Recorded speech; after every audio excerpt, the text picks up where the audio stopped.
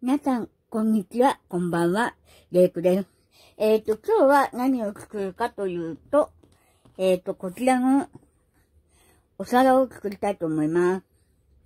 はい。これに、ここからしか入れるところがないので、ここからこう流し込んでいきます。で、えっ、ー、と、今日使うものは、レジンドウのブラックレッド。そして、えー、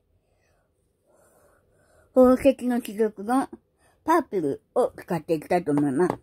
で、今、えっ、ー、と、こちらに、えー、パープルとレッドが用意してありますが、えー、この中に少しだけ、えー、アクリル絵の具のブラックを入れてみました。はい。えっ、ー、と、それでは、入れていこうと思います。えっ、ー、と、今回、えっ、ー、と、実は、この、えっ、とですね、ダイソーで、こちらの、えっ、と、こちらの購入したレジンフィルムペーパーのこのうさぎの部分を使ってやっていきたいと思います。はい。えっ、ー、と、それでうさぎの、えー、5個入れていきたいと思うんですけど、えー、入れられるかどうか実は、封入物はちょっと初めてで、えー、ちょっと緊張してます。あの、あまりね、封入物、ほんと、ラメぐらいは入れたことあるんですけど、ラメは本当に、その、何？えっ、ー、と、混ざるぐらいで、あ、ちょっと待ってね。ラメ少し入れたいと思います。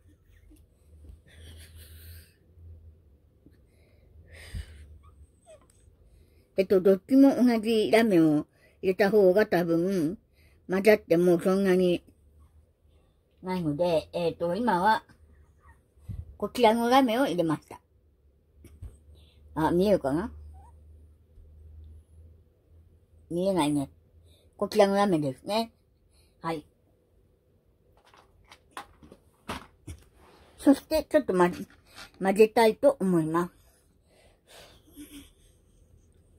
で、あまり、えっ、ー、と、派手にラメとか入れすぎると、多分、うさぎさんの方が見にくいんじゃないかなと思うので、ただこれどうやってやればいいのかなちょっと、うさぎさんがうさぎさんどうすればいいんだろうな。ちょっと初めての試みなので、わかんないんですけど、とりあえず一回流し込んで、後から入れるか？うん、多分ね、これ硬いからね、液を入れないと、うまくこう、馴染まないんじゃないかなと思うので、とりあえず、えっと、じゃあ、レッドを先に入れていって、その後パープル入れてみようかな。じゃレッドを入れていきます。本当はこう、二色にしようかなと思ったんですけど、うーん、悩みます。えっ、ー、と、まあ、今回作品何回目かな ?3 回目だって、4回目だって、もうわかんないでちゃった。えっ、ー、と、じゃあ、この、えっ、ー、と、ちょっとここに入れていきたいと思います。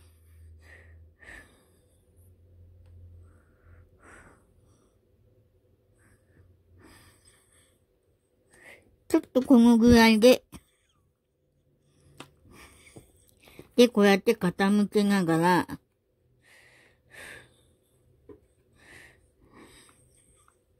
多分こうやって傾けた方が馴染むと思います。あ、ちょっと待ってね。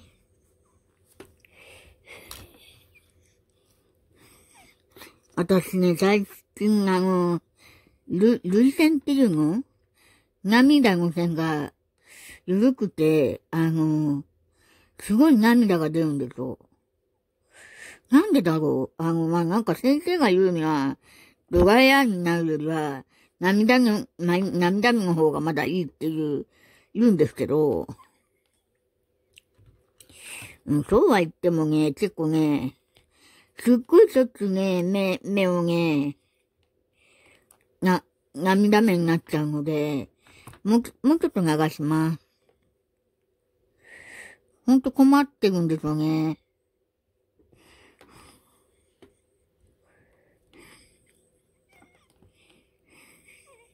これね、結構ね、難しいんですよね。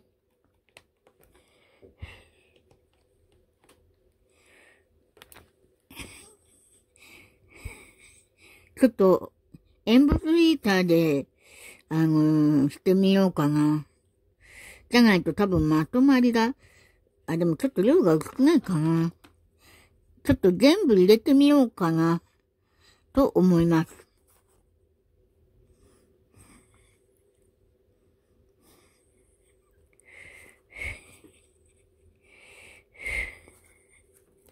まあ、こういう風に傾けながら、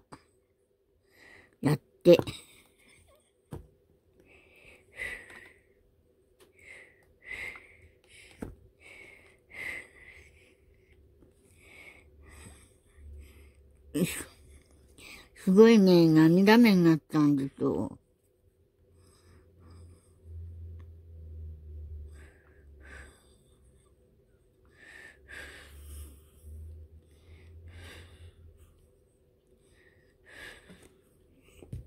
うん、全部入れてもいいかもな。で、ちょっと全部入れます。よいしょ。ちょっとこっち側が少ないんで。よ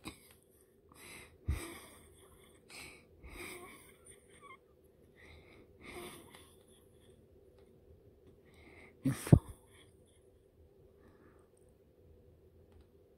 まあ、これをこういうのは、本当にその、き、きっちりこう、こっからここは赤、こっからここは紫ってのはなかなかちょっと難しいので、その、なるようになる感じになってしまうととこ、ところがあるので、ただ色はね、自分でね、決めてした方がいいと思うし、で、まあこういう感じで、これ意外とね、ここ漏れないんですよ。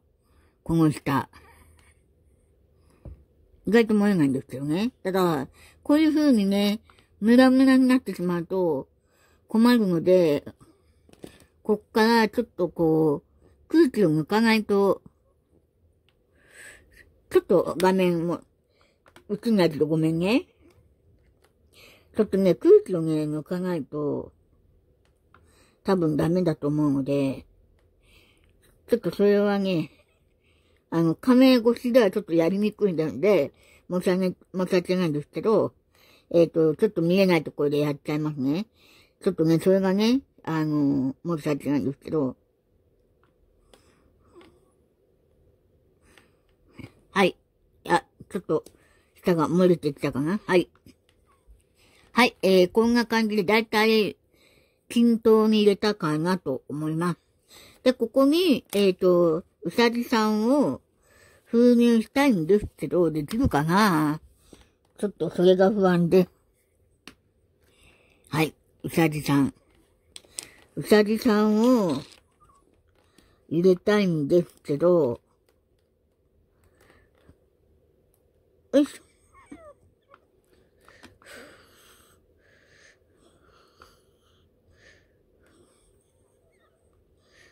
あ、入りましたね。はい。えー、なんとかうまくいきそうな気がします。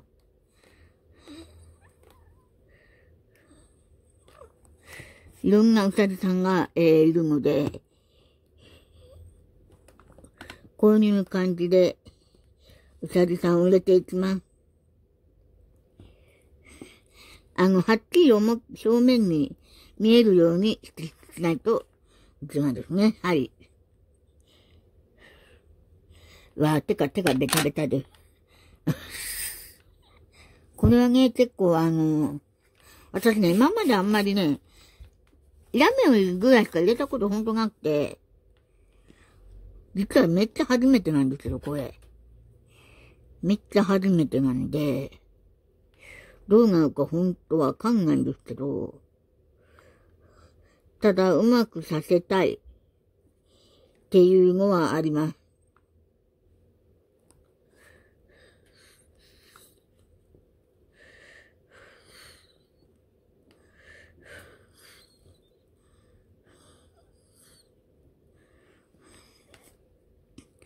なかなか、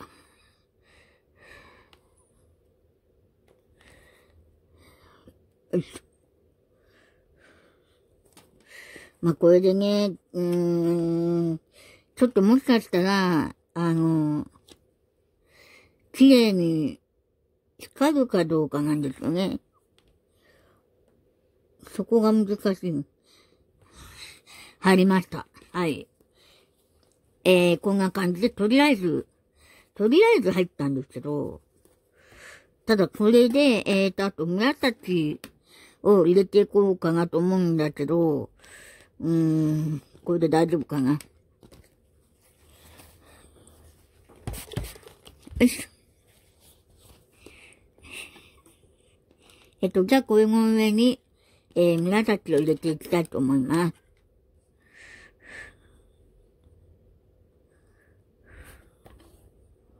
ごめんなさい、今ね。見えないところでやっちゃったかなと思って。はい。えーと、こんな感じで。あ、漏れる。まずい。ちょっと漏れ出しましたね。ちょっと急がないといけません。急がないといけないんですけど、これ空気抜かないと、なかなかダメなんですよ。ちょっと漏れてきているので、即刻、即刻します。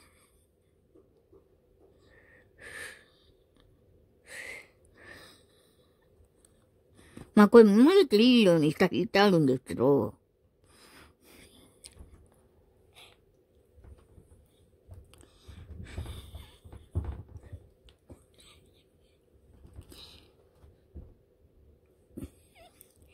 漏れていいように、え？漏れていいようにはしてあるので、まあ、あの、このお皿をね、自分でね、あの、アクセサリー入れたりするのに作りたくて、なかなか、あ、ちょっと多いかな。ちょっと戻します。ちょっと多く感じたので、ここはちょっとこう、やっぱり、空いた方がいいので、このまま、硬化したいと思います。ちょっと。はい、えーと、では、このまま硬化します。あ、カメラが落ち、カメラじゃないや。ランプが落ちちゃった。で、硬化しますね。はい、硬化が終わりました。えーと、これを外していきたいと思います。ちょっとね、どんな感じになるのか。色はね、作ったことあるんですけど、あの、だいたいいつも、輸入物はラメぐらいしか入れてなくて、本当はね、あの、火花とかを中に入れたいんですけど、ちょっとまだそこまでのやる、ちょっと不安があって、まだできてないんですけど、これをじゃあ外していきたいと思います。よし。これはね、あ、そうだ、こっちから外さないと。結構熱い。あの、やっぱシーコンモードの、あの、そ、モールドの素材によってすごく熱くなったり、なかなか熱くならなかったりしますね。よし。上が取れました。あとは、えー、あ、えー、若干ちょっとここが、ちょっと待ってくださいね。戻します。もう少し、ちょっと、あ、はまるかな？はまるかな？はまるかな？はまりましたね。ちょっとね、えー、っとね、ちょっとこっち側、ここがちょっと、足がない、足っていうかあの、何？なんて言うんだろう。あの、足としてつく、あの、この、あれが丸くなるんですけど、こっち側だけちょっとか、かけちゃってるみたいなので、もう少し入れたいと思います。まあ、ちょっと残っているので、これを少しこっち側に